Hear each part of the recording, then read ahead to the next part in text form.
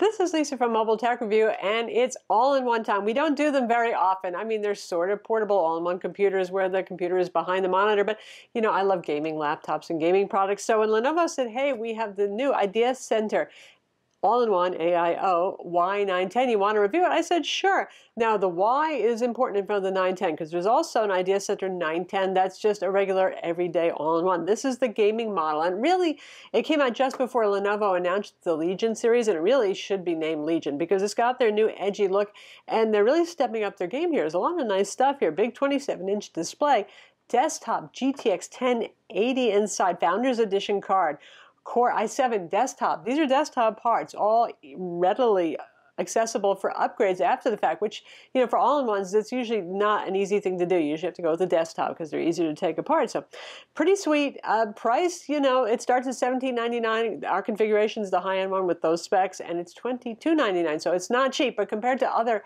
all-in-ones that are on the market, and even some desktop with monitor bundles, especially if you're talking about a 27-inch QHD monitor, the price is fair for what you get. We're going to look at it now.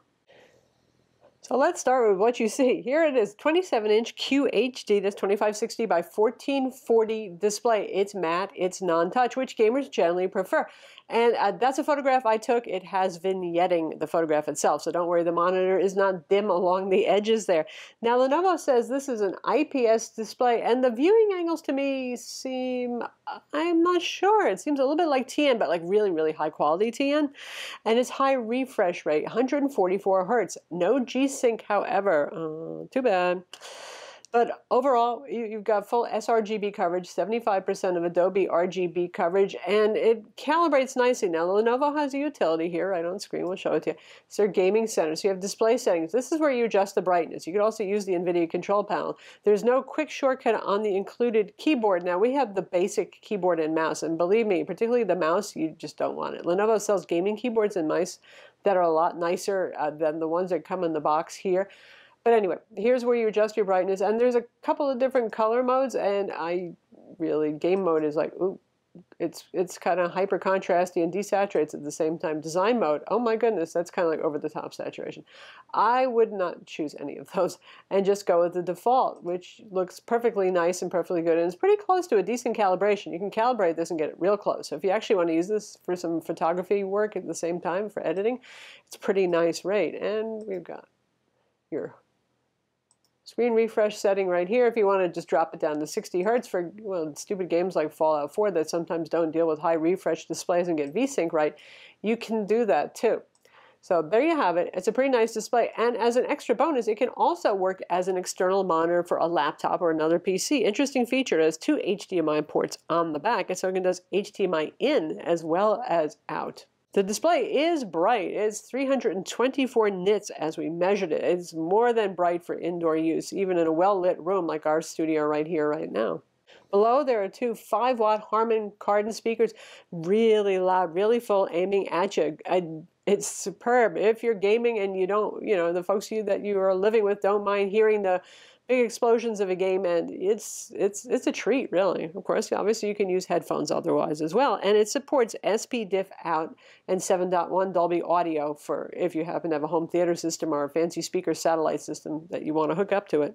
There are no front-facing ports on here, which kind of would have been nice. Oh well, but we've got four USB 3.0 ports on the right-hand side, an SD card slot headphone and microphone jacks there. And if you go for the uh, optical drive, which some models have, some models don't, depends, it's up to you if you want to get it with that.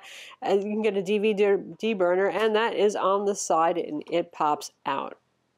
On the back, like I said, there are two HDMI ports and two more USB 3.0 ports and an Ethernet port. So in terms of ports, you know, it's a well-equipped all-in-one. And on the left-hand side, there's the power button, uh, the little headphone hanger, and there's a button that you'll use if you want to use this as a monitor for a laptop or something else.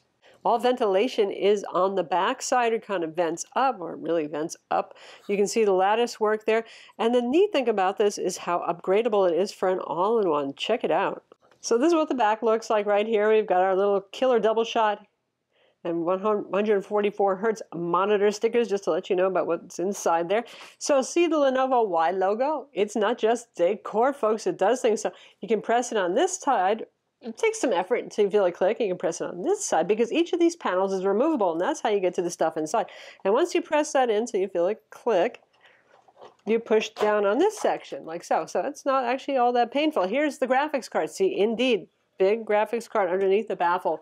They say this is toolless, so you don't need screwdrivers and stuff like that. So that's why you got like twisty little things here to unscrew the cover. Baffle, you can see the fan of the GTX 1080 Founders Edition under here. So you could upgrade your graphics card. 625 watt power supply. So that's ample for the future. You know, NVIDIA's been trying to consume less power with each generation. So if it can do the 1080 now, and it can, with the quad-core i7 desktop CPU. It should be ready for the future. So nice there. This is your RAM door here. So these are doors, you, you grab it and you yank this off. It's pretty stiff on here. There's two RAM slots in here, DDR4. 2400 megahertz RAM, and it's the shorter size, smaller size, the laptop size, not the big desktop long RAM modules in there. And on the other side, here's your conventional desktop hard drive. It's a two terabyte hard drive on our model. And this little door right over here is your M2 SSD. Boy, these little things are stiff. There it goes. So that's a nice Samsung PCIe SSD in there with pretty good speeds as well. Now getting to the desktop, the CPU obviously would be a bit more room and require a bit more disassembly if you want to upgrade. It is a desktop. Again, Core i7-6700, 3.4 gigahertz base clock rate CPU. That's Skylake. I'm sure they'll refresh it with Kaby Lake 7th generation. Will it matter much for performance? Eh, not so much. So. Uh, yeah, and performance numbers on both graphics and CPU are just where we expect to see them. And the, the, the interesting thing is to see how they're not that far off from the couple of Core i7 mobile with GTX 1080 cards that we reviewed in laptops. So it really just says how well, how well laptops are doing relative to their desktop brethren at this point. Before we get into gaming, if you're wondering about monitor tilt, this isn't like the Lenovo 910 all-in-one non-gaming edition. It doesn't have a huge range of tilt. That the the, the one that's the non-gaming model goes very flat. Tilts a bit forward, it tilts a bit back. That's all there is to it. So I mean, it's perfectly fine and adequate, I think, for everyday use. This doesn't have a touchscreen, so what would be the point really of flattening on its back and that sort of thing? All right, to test out gaming, we're going to use Witcher 3 because it's the ultimate pig of a game and also Fallout 4, which is a pretty demanding game, but hey, this is a very powerful PC, so we got up the ante a little bit. So you see, this is Nexus Mod Manager. For those of you who play Fallout 4, this is a heck of a lot of mods we have loaded on top of our Fallout 4 game, and they're actually in use in the game. So hey, let's see how it does.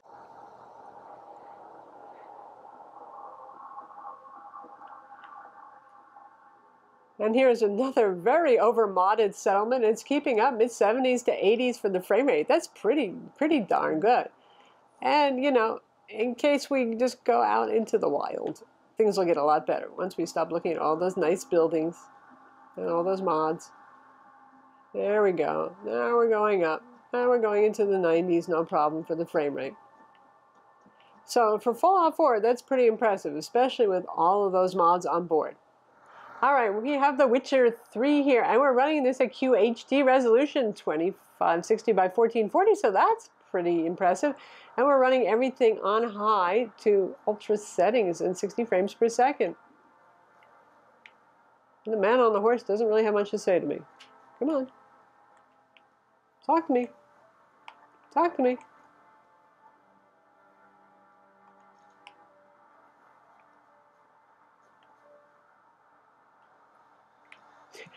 Well, I'm the pariah here in the world of The Witcher, but you get the idea. This is just really nice and fluid stuff right here.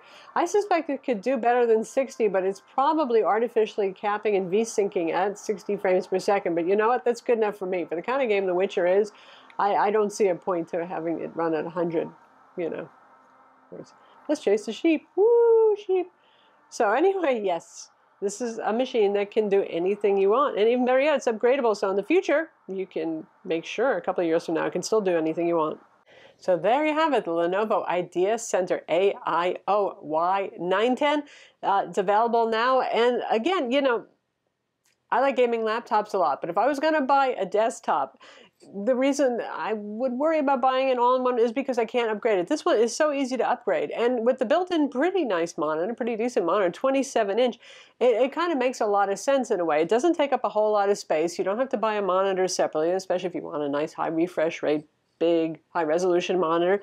It ticks a whole lot of boxes. So no, it's not the cheapest thing on the block, but I think the price is very fair, especially against the competition. So there you have it. I'm Lisa from Mobile Tech Review. Be sure to subscribe to our YouTube channel for more cool videos and thumbs up if you like this vid.